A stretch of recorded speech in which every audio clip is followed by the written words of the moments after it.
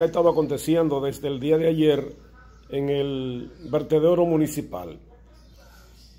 Eh, es una situación que la hemos asumido como una gran preocupación, primero como ciudadano de este municipio y segundo como regidor del mismo municipio.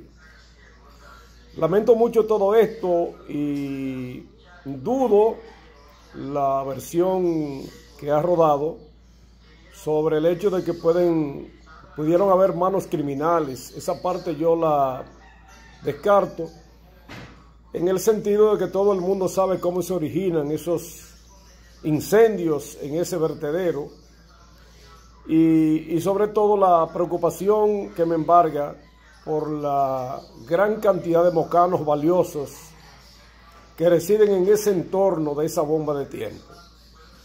Nosotros hemos estado eh, trabajando en el propósito de socializar algún lugar donde alguna vez podamos llevar este vertedero y que ese lugar realmente sea zona de tolerancia, porque tampoco queremos eh, que se produzca ese traslado y que por salvar una, esta parte de este lado podamos entonces ir a perjudicar a otra parte.